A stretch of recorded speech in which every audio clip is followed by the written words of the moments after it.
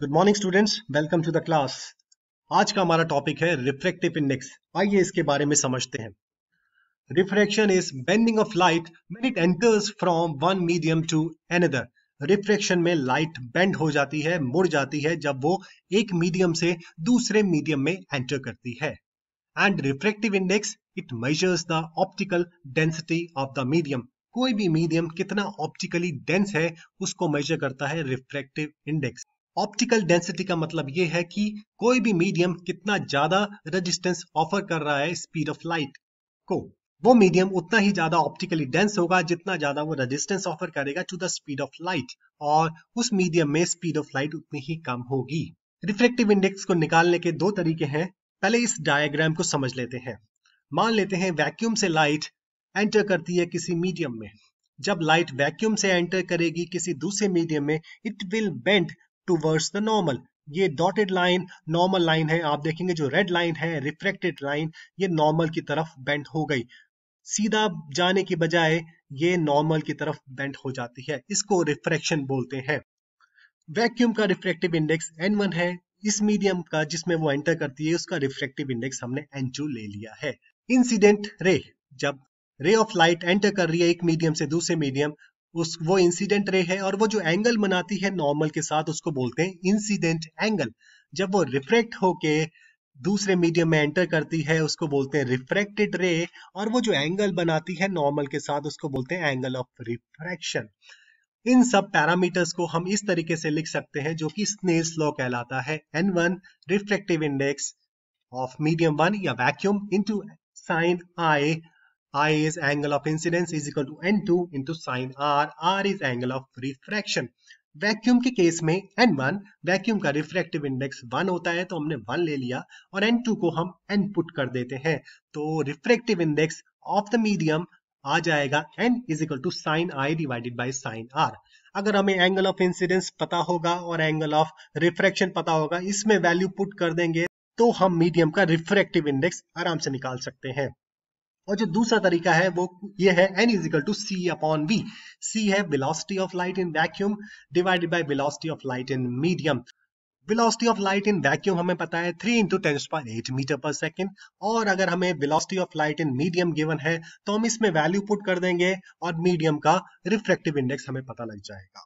अब बात यह है कि जो ऑप्टिकली डेंस मीडियम रजिस्टेंस क्यों ऑफ़र करता है? स्पीड ऑफ़ लाइट क्यों कम हो जाती है? देखिए वैक्यूम से जब लाइट किसी भी मीडियम में एंटर करती है वैक्यूम में पार्टिकल्स नहीं है, उसको रेजिस्टेंस ऑफ़र करने वाला कोई नहीं तो लाइट को कोई रेजिस्टेंस नहीं मिलता। लेकिन जब वो किसी मीडियम में एंटर करती है तो वहाँ पे पार्टिकल्स हैं मॉलिक्यूल्स हैं, जो कि रेजिस्टेंस ऑफ़र करते हैं लाइट को, और लाइट की स्पीड वेलोसिटी कम हो जाती है। इसको आप कुछ किस तरीके से समझिए?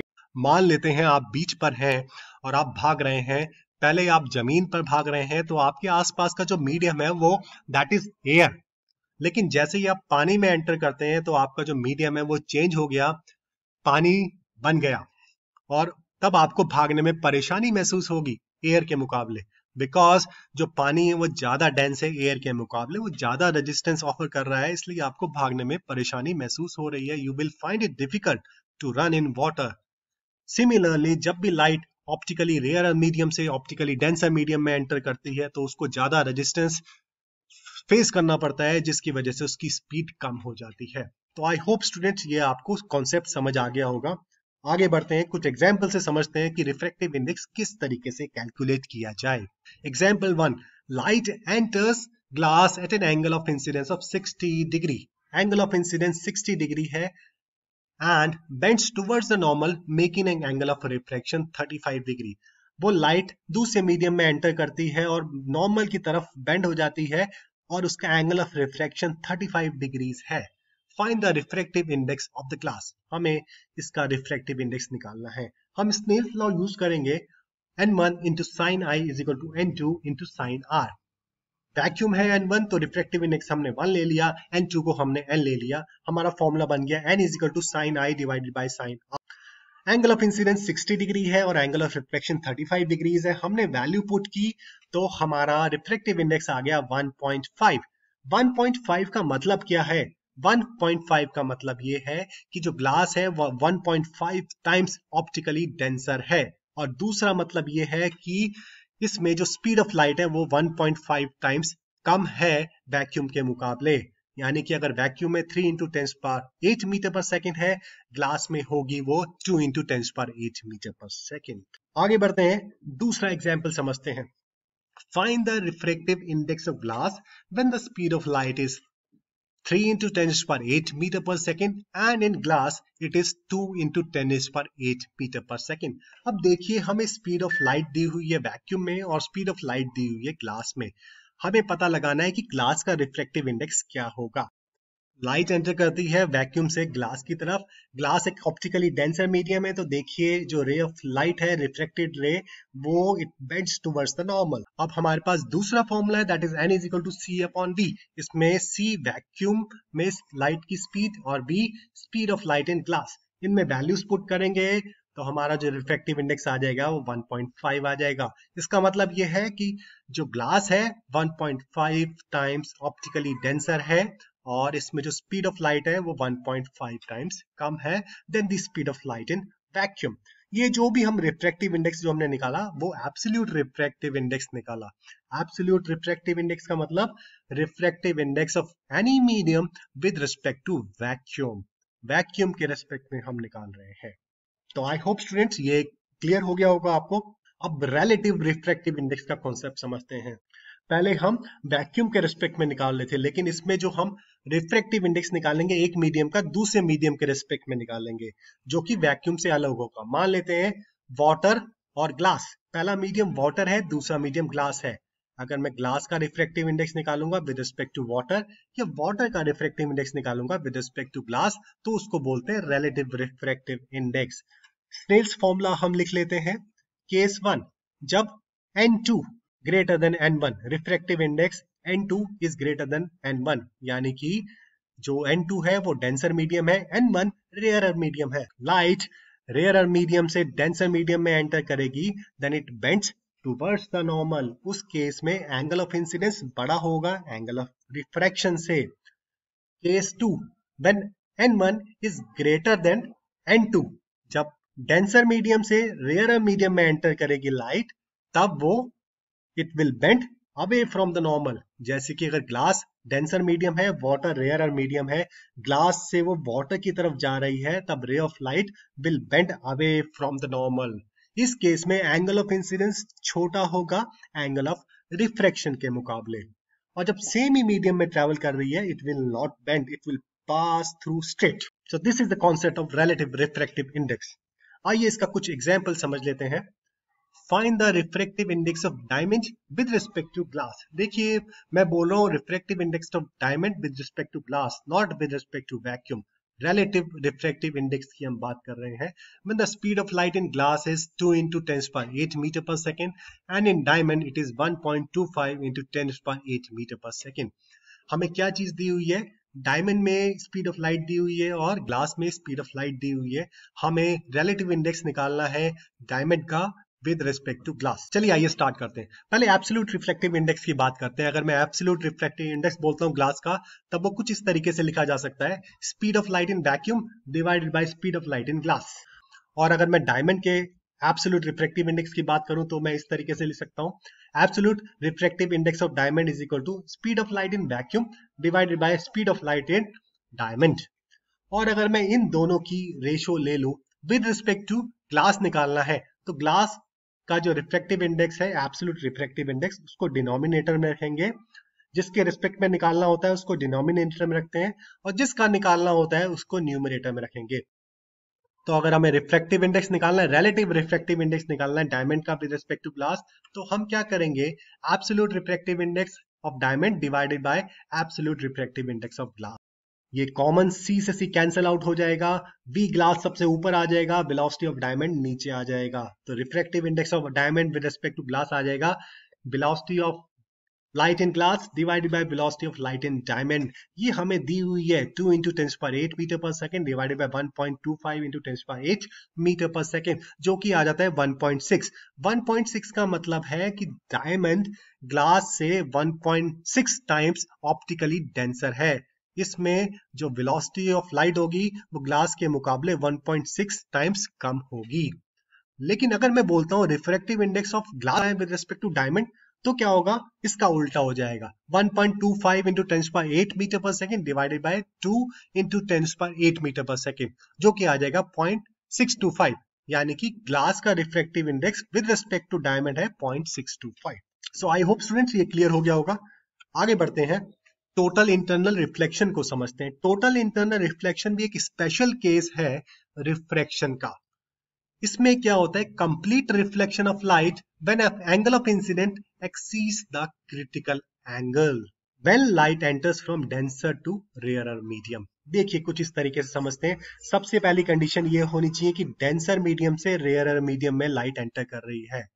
मान लेते हैं ग्लास से वैक्यूम या ग्लास से एयर की तरफ़ वो एंटर कर रही है। जैसे ही वो एंटर करेगी it will bend away from normal फिर हमने थोड़ा सा एंगल बनाया it will bend away from normal फिर थोड़ा सा एंगल बनाया ग्रेस हॉरिजोंटली एक ऐसा एंगल जिसमें ray of refraction will graze horizontally उसको हम बोलते हैं क्रिटिकल एंगल इस एंगल से अगर थोड़ा सा भी ज़्यादा एंगल होगा एंगल ऑफ़ इंसिडेंट होगा, तब वो टोटल इंटरनल रिफ्लेक्शन आपको देखने को मिलेगी। यानी कि ग्लास के केस में क्रिटिकल एंगल 42 डिग्रीज है। अगर 42 डिग्री से थोड़ा सा भी ज़्यादा आपने एंगल ऑफ़ इंसिडेंट कर दिया, तब वो रे ऑफ़ लाइट ग्लास से दूसरे मीडियम में नहीं जाएगी। ग्लास के अंदर ही टोटली इंटरनली वो रिफ्लेक्ट करती रहेगी। So this is called total internal reflection total internal reflection का रियल लाइफ एग्ज़ाम्पल आप किस तरीके से देख मान लेते हैं ट्रेवलर जो है, जो रेगिस्तान में जाते हैं, उन्हें मिराज उनको एक एक ऑप्टिकल इल्यूजन हो जाती है, जिन्हें लगता है कि उन्हें रिफ्लेक्शन दिखाई देने लग जाती है और उनको लगता है कि वहाँ पे पानी है, लेकिन वहाँ पे पानी नहीं होता है। ये ऑप्टिकल इल्यूजन जो है, वो रिफ्लेक्शन का ही फिनोमिना है। रेगिस्तान जो डेजर्ट्स होते हैं, वहाँ पे रेगिस्तान के बिल्कुल पास वाली जो एयर की लेयर होती है, वो बहुत गर्म होती है, ऊपर की लेयर्स के मुकाबले। मान लेते हैं रे ऑफ़ लाइट ट्री से आ रही है। जब वो ट्री से आती है, ऊपर की लेयर कंपैरेटिवली कम गर्म है, नीचे की लेयर्स के मुकाबले। यानी कि ऊपर का मीडियम डेंसर है, नीचे का रेयर है। तो डेंसर से रेयर मीडियम की तरफ़ लाइट जा रही है it will bend away from normal फिर डेंसर से rarer away from normal away from normal और एक ऐसा पॉइंट आता है जहाँ पे टोटल इंटरनल रिफ्लेक्शन स्टार्ट हो जाती है, वो उसी मीडियम में रिफ्लेक्ट हो जाता है। और अब रेयर से डेंसर मीडियम की तरफ़ बढ़ रहा है it will bend towards the normal rarer to denser medium it will bend towards the normal और जो ट्रेवलर है, उसको लगता है जो, उसको पेड़ कुछ उल्टा इस तरीके से दिखाई देता है और उसको लगता है कि ये रिफ्लेक्शन है और रिफ्लेक्शन पानी में दिखाई देती है तो उसको लगता है वहाँ पे पानी है और वो वहाँ पे जाता रहता है, लेकिन वहाँ पे उसे पानी नहीं मिलता। ये ऑप्टिकल इल्यूजन होती है डेजर्ट में, जिसको मिराज भी बोलते हैं और ये टोटल इंटरनल रिफ्लेक्शन जो कि रिफ्रैक्शन का ही स्पेशल केस है, हमें देखने को मिलता है। तो आई होप स्टूडेंट्स ये आपको क्लियर हुआ होगा। अब इसको समराइज कर लेते हैं। Refraction is the bending of light and reflective index measures the optical density of the medium denser medium will have a refractive index greater than 1 and the value of the refractive index in the rarer medium is less than 1 जो कि हमने देखा था diamond का refractive index निकाला था with respect to glass जो कि ग्रेटर देन वन आया था और अगर आप ग्लास का रिफ्रैक्टिव इंडेक्स निकालोगे विद रिस्पेक्ट टू डायमंड जो कि लेस देन वन आएगा बिकॉज़ ग्लास रेयर मीडियम है डायमंड के मुकाबले when light enters from rarer medium to denser medium it bends towards the normal Similarly, when light passes from denser medium into the rarer medium, it bends away from the normal. Complete reflection of light when the angle of incident exceeds the critical angle. इस case में light enters from denser medium to rarer medium अब आपके सामने एक छोटी सी quiz है इसको attempt कीजिए आप ये बताइए the refractive index of water is 1.33 which means it is 1.33 times optically denser क्या ये स्टेटमेंट ट्रू है या फॉल्स है second one light bends towards normal when it passes from denser medium to rarer medium क्या light normal की तरफ़ bend होती है जब वो डेंसर से रेयर मीडियम में जाती है ये आपको बताना है इज़ इट ट्रू और false reflective index is a dimensionless entity is this true और फॉल्स और लास्ट है find the reflective index of the sandalwood oil when the speed of light in it is 2 into 10 to power 8 meter per second and speed of light in vacuum is 3 into ten eight metre per second आपको sandalwood oil का refractive index निकालना है। उसमें speed of light दी हुई है two into tens by eight meter per second और vacuum में three into eight three into tens by eight meter per second and your time start now and the answers are I hope students ये clear हो गया होगा आपको concept अगर आप चाहते हैं, मैं आपके लिए और इंटरेस्टिंग वीडियो लेके आऊँ तो काइंडली सब्सक्राइब करें आप मेरे चैनल को। Till then goodbye thank you very much and have a nice day